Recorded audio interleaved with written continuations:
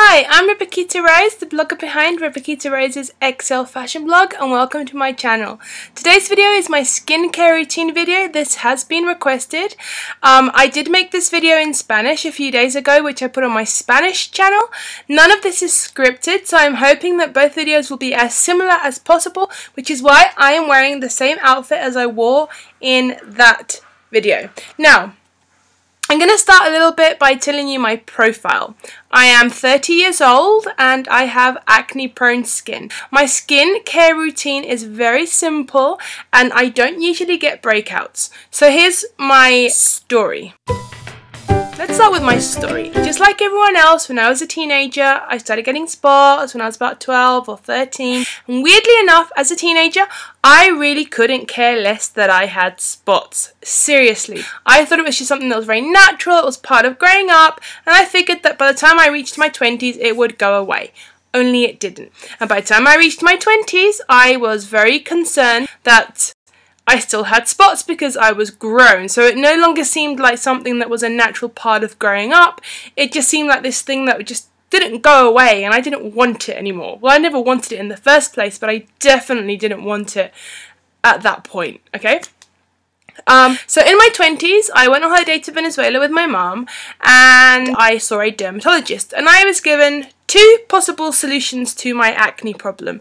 I could either go on the pill or I could try an antibacterial soap. I didn't want to go on the pill. I have never been on the pill and I never want to go on the pill because I see going on the pill as basically messing with your body's hormones and as far as I know my hormones are fine so if it's not broken why fix it.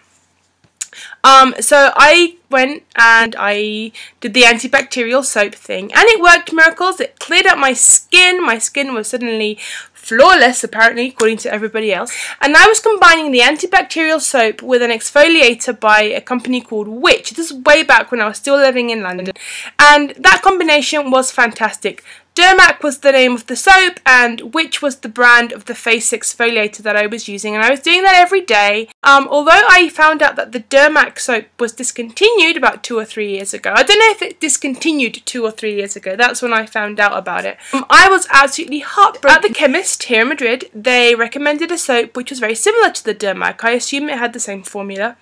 And I paid 10 euros for a bar of soap that did absolutely nothing for my skin. And I started getting breakouts again and I was not happy about getting breakouts. So last year when one of my cousins came over from Venezuela on holiday, who she's a pharmacist and she has her own chemist. So I told her about the Dermac soap and she brought me over three soaps which are for acne skin. And two of these soaps, from what I understand, are very similar to the Dermac soap. So, I told my cousin about the Dermac soaps and she brought me over something very similar because in Venezuela you couldn't get Dermac either. Now, the first soap that I'm using, I can't tell you the name of it because I had been keeping the box and saving it so that I could share the name of it with you guys. And then I moved house and I can't find the box anywhere now. I don't think I threw it away. If I find it, or rather when I find it, I will be updating the information. But for now, I'm just going to show you the soap. It's ugly, so don't freak out. But it does its job. This is it here. I'll put it on this side rather. This is the soap here. And this stuff is brilliant. It does its job.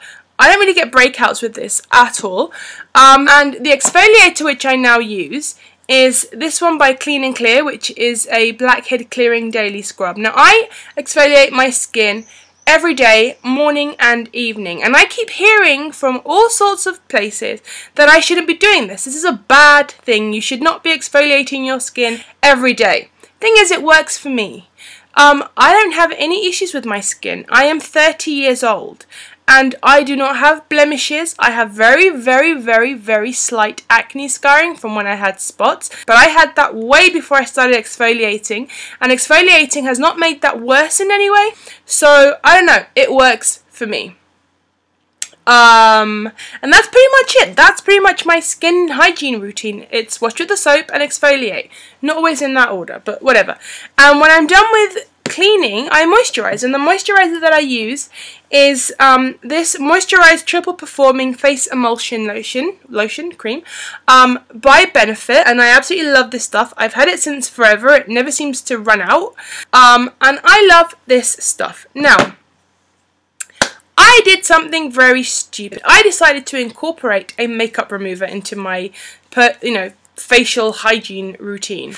And I was recommended this stuff by Dr. Brandt, which is the Extend Your Youth Dual Fusion Water. Now, I started using this when I was kind of PMSing, and um, I get breakouts during that time of the month anyway. Very slight, but I do get the odd spot. And when I was using this at the same time of that, I got a very severe breakout. I was getting big, red, painful spots on my face, which I hadn't had since I was a teenager. So, I don't know, I didn't want to say, oh, definitely it was this, because obviously I was PMSing, I'm not working at the moment, so I thought, even though I don't feel stressed, maybe subconsciously I'm stressed and I just don't realise that I'm stressed. Um, so I stopped using it, my skin cleared up, and then I introduced it again when I was not PMSing, still didn't feel stressed, and my skin broke out again. And then I stopped using it, and then I reintroduced it, and every time it was the same. I introduce it, I break out, I take it out, my skin comes down, and the breakouts stop. So this does not agree with me. That said, um, I have used this on other people, and as far as I know, they haven't had any breakouts. Also, from what I understand, Dr. Brandt products are all about extending youth. So it's making, you know, it's supposed to, they do things that are supposed to make you look younger for longer. From what I understand, if I'm wrong, correct me. But I'm pretty sure that's what they, that's what this is all, this company and the, well, as far as I know, Dr. Brandt is actually a bit of a celebrity figure. Um, but that's what they're about. Now, I'm 30 years old, like I said at the beginning, I think. Um, I don't look 30, so but it's got nothing to do with this, just for the record. With me, it's completely genetics. I mean, I have cousins who are like 40 and they look 20. And nobody ever asks me, when are you going to get married? When are you going to have children? People ask me, what are you studying? When are you going to graduate from university? Oh, and I graduated way back in 2008. So, you know, apparently I sound really young as well. I don't know, but I don't do anything to try and appear younger. It's, this is just, this runs in the family. Um, so anyway, I'm getting sidetracked. Um, the other two soaps that my cousin brought over were um, this, which is called Cetaphil. This, which is called Cetaphil. Um, I've seen other YouTubers talk about this um, this line of acne skin product. I think you, I think you would say. Um, and so, so far, everyone seems to have good things to say about um, this.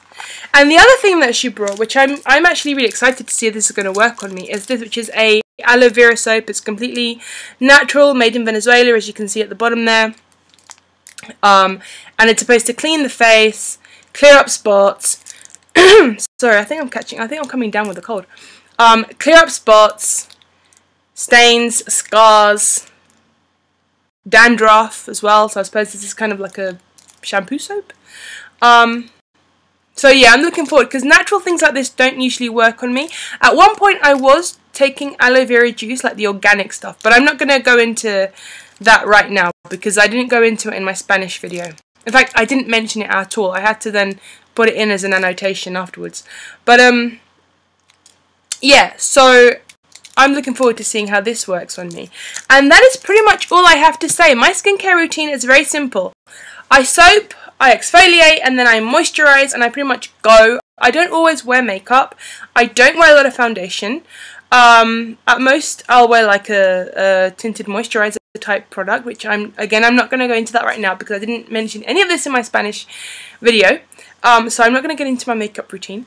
But, um, but yeah, that's pretty much all there is to my skin routine. I really don't know what else to tell you guys. I don't do anything strange to my skin. They say that when you reach 30, when you reach 30, you're supposed to start doing crazy things and you're supposed to go places and get facials and well, you're supposed to always get facials, always, really, aren't you? But you're supposed to sort of like change it up when you're 30 and whatever. I haven't really changed anything up, and so far it's it's still working for me.